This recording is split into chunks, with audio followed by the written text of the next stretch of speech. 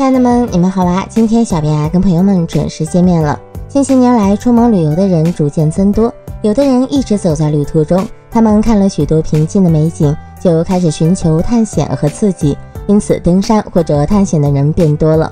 他们往往会挑战险峻的高山或神秘的丛林，因此每年都会有人不慎遇险受伤，或者被困深山，不得不等待附近警卫的救援。所以，寻求刺激也一定要注意安全。今天我们就说一个圣地，人类还未曾踏足。这是一座山峰，比珠峰矮两千米左右，至今也没人能登上山顶。这就是梅里雪山，它位于西藏和云南的交界，是一个壮观的雪山群。其中最高峰的海拔为六千七百四十米，是云南最高的山。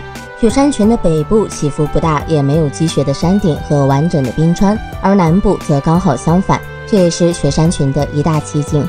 山上地形复杂，有很多冰层和峡谷。因为此山海拔区间不同，所以气候和温度也呈多样性。在雪线以下，绿植葱郁；在四千米以上，则白雪覆顶，云雾飘渺，远远望去十分壮丽。因为山的壮美和高度，所以吸引了很多人前来登山。但是从二十世纪初期至现在，所有的登山者都挑战失败了，甚至成功登上珠峰的专业团队也没能登上这座山。在一九九一年，就有登山队开始攀登此山，准备冲刺六千四百米时，天气骤变，队员们只好扎营休息。然而当晚发生大规模雪崩，队员全部遇难。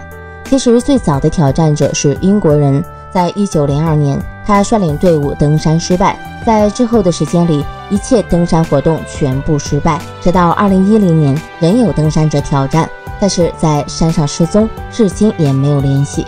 从这可以看出，虽然人类有好胜心，但只有与自然和平相处才是最好的。小伙伴们还知道哪些难以攀登的山呢？好啦，今天的视频到这里就要和小可爱们说拜拜啦！